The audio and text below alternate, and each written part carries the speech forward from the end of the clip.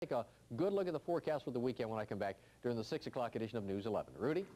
It's a good thing there's no snow. There'd be a whole lot of little nanooks of the north running oh, around. That would be terrible. Wouldn't it be awful? Yeah. Well, so now are we supposed to are we supposed to do sports now? We are? Oh, I'm not going to do sports, but See, I just stopped by to work today to pick up my paycheck, and the next thing I know, They're they've got a new you earn it. basketball coach, and Orioles have made a trade. I should have stayed at home. No, this is more exciting. That's this has right. been terrific. The Orioles today traded Storm Davis to San Diego for catcher Terry Kennedy and minor league relief pitcher Mark Williams, Williamson, who was the top relief pitcher in the AAA Pacific Coast League at Las Vegas last season.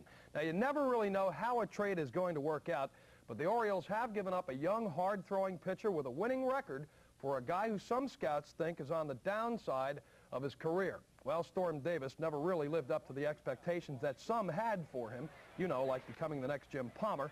Even though his ERA last season was the lowest among Orioles starters, he was on the disabled list twice and finished the season on September 3rd after suffering a severe ankle injury in this game against California. I think some people in the organization were afraid that Storm just would never become the dominant pitcher that they had hoped for. As for Kennedy, he's a pull hitter, a left-handed bat, but his offensive numbers have dropped from his best years in the early 80s.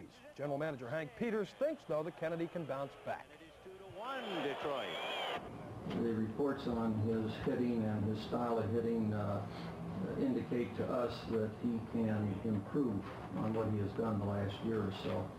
Uh, sometimes I think we find that when hitters try to do maybe more than they're capable of doing, they, uh, they suffer as a result of it, and perhaps returning to a more natural style will be better for him.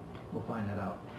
I guess we will. Hank was asked if he felt he had paid a high price for Kennedy. He said, well, it's a high price for a young pitcher, but it's a high price for an everyday catcher. So he thinks he, he hopes he made a trade that both sides are going to be happy with.